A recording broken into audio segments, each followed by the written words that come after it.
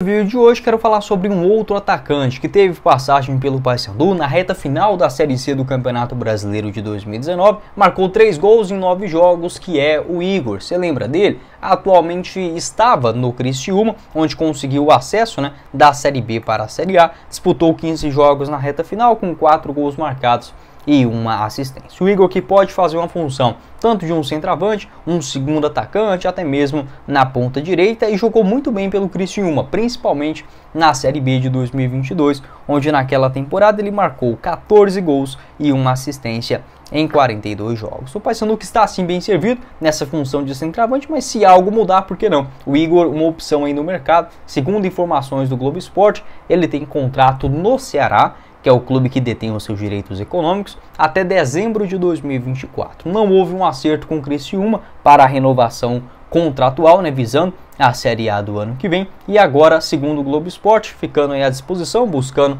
um novo clube, já tem duas propostas do futebol do sul do país para o ano que vem. Ele tem 31 anos de idade, além do, dos clubes né, que eu citei no vídeo de hoje, ele já atuou pela, pela Ferroviária, no Campeonato Paulista, inclusive com o destaque, no futebol da Coreia do Sul, no esporte também em 2018, Juventude no final daquela temporada. É, e se destacou principalmente, foi bem no Paysandu, na reta final do ano, na Ferroviária, no Criciúma e no Ceará, onde começou essa temporada, mas não foi tão bem, realizando somente 13 jogos, com nenhum gol marcado e nenhuma assistência, não fica no vozão para o ano que vem. Pode deixar sua opinião aqui embaixo nos comentários. Se você lembra do Igor, se pode ser uma boa alternativa. Enfim, eu gosto do nome, é um cara que conhece bem a Série B do Campeonato Brasileiro e realizou boas temporadas, tanto em 2022 quanto também em 2023 pelo Criciúma. Além desta rápida e é, discreta passagem, né, assim podemos dizer, pelo Paysandu, ele que disputou seis jogos na Série C, marcou dois gols e outro gol também na Copa Verde naquele ano.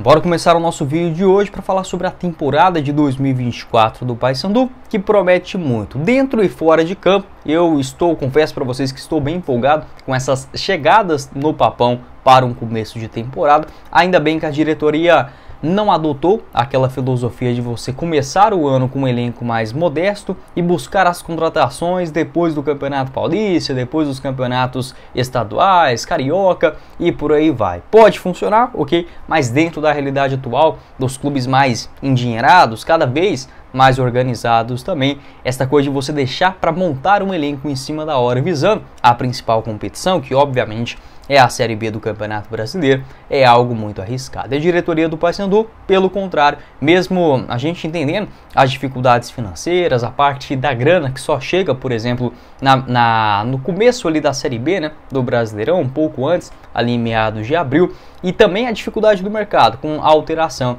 e a criação da janela de transferências no futebol brasileiro. Ainda assim, a diretoria indo muito bem no mercado e na minha avaliação, tirando a parte da defesa, onde eu buscaria mais alguns zagueiros, alguns laterais para o início da Série B do Brasileirão. Se fosse para mim palpitar hoje, sem o time entrar em campo, sem a estreia, por exemplo, no Campeonato Paraense, alguns garotos da base podem destacar, outros atletas também é, que chegam sem muito prestígio pode é, recuperar essa sua moral, enfim, e ser uma peça importante na Série B. Mas nesse momento eu buscaria pelo menos a chegada de mais um zagueiro para ser titular na segunda divisão, mais dois laterais, um lateral direito, um lateral esquerdo, se possível, mais um ponta também, um jogador pelas beiradas e o meio de campo, tá? Mas no restante, eu acho que tanto as inovações quanto as chegadas são de extrema importância para o Paysandu. Se fosse para a gente colocar hoje uma escalação somente dos reforços já anunciados, eu colocaria do seguinte, da seguinte forma: Diogo Silva no gol, Jefferson na lateral esquerda, né, ele que veio do futebol da Bulgária, Carlão, ex-náutico na zaga e o Lucas Maia também. Acho que o Lucas pode ser uma boa aposta vindo do futebol mexicano. Lateral direita com o Braio, tem o Edilson também que renovou, mas eu tô colocando aqui só os contratados. Meio de campo com Val, Biel e Wesley Garcia. No ataque, Edinho, Jean Dias e o retorno também do Nicolas. Isso a gente colocando somente os contratados, né? Ainda ficou de fora, por exemplo, desta lista o atacante Leandro, que é sim uma ótima aposta, vinha de contusão lá no futebol japonês, mas acho que dentro de uma realidade de Série B é sim um nome muito interessante na, na busca né, pelo acesso à Série B, que tem uma cara muito específica. Se você conseguir, por exemplo, começar bem a competição, a tendência é de você brigar na parte de cima da tabela. É óbvio, o Paysandu não é o clube mais engenheirado dessa segunda também não precisa ser para lutar pelo acesso, enfim, conquistar algo maior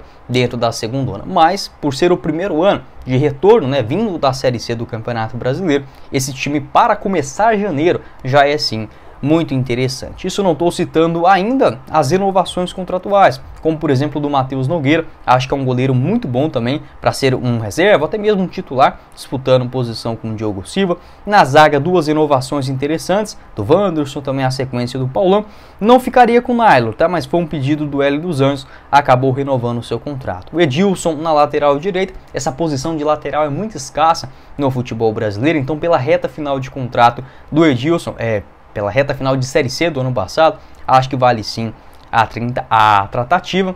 No meio de campo, as extensões contratuais do João Vieira, acho que será sim uma grata surpresa nessa temporada de 2024. Do Robinho também, para dar uma experiência no meio de campo. Tem o fator da idade, já com 36 anos, mas acho que pode acrescentar para segundo ano. O Juninho também sendo uma aposta ali para a composição do elenco. E no ataque, as renovações do Vinícius Leite, que fez sim uma boa Série C. É um jogador que tem mercado, né? tinha tranquilamente na Série B do Brasileirão. Acabou voltando para o Paysandu, onde tem essa sua identificação e conhece bem a segunda divisão aqui do Brasil. Acho que um jogador que tem tudo para acrescentar também. Além do Roger, atacante das categorias de base, é um outro nome certo. Então, essa mescla entre contratações e renovações contratuais. E por que não? Até mesmo com a disputa da Copa São Paulo de Futebol Júnior, a melhor observação do Hélio dos Anjos no campeonato estadual para usar os garotos. Eu acho isso muito importante também, já no começo de ano, em partidas que não são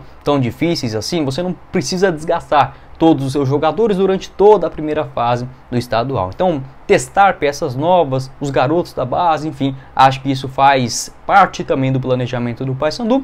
E dentro dessas mexidas, você pode encontrar inclusive um bom nome para a disputa né, da segunda ano, isso sem levar em consideração também as outras competições importantes, como a Copa Verde, a Copa do Brasil e o Campeonato Estadual. Pode deixar sua opinião também a respeito desse assunto. Ah, isso que eu até esqueci de mencionar, os outros jogadores contratados, que eu não coloquei dentro daquela lista dos titulares. Não sei em qual momento que você está assistindo esse vídeo, pode ter sido oficializado ou não. Segundo informações do Twitter, do arroba empresáriojrb1, existe negociações avançadas entre o Paysandu e o uruguaio Pablo Cepelini. A tendência é que, que ele seja anunciado ainda dentro desse ano, né, de 2023. Vamos ficar atento. Se chegar na minha avaliação, seria a melhor contratação disparada dentro desse atual elenco, além, claro, do retorno do Nicolas, que é muito importante.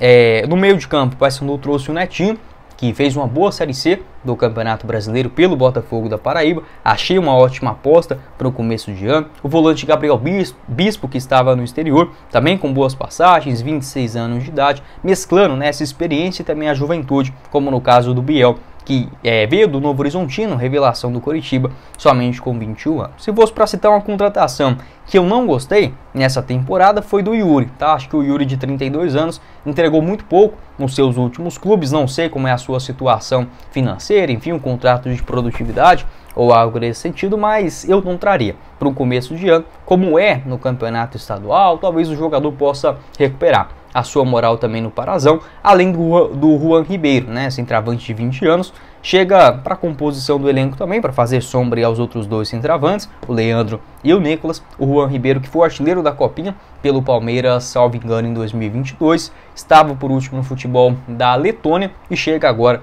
como uma aposta. Tem o Jean Dias também, 33 anos, ex-internacional, jogou muita bola no Caxias, que foi finalista do Gauchão de 2023. Acho o nome também bem interessante.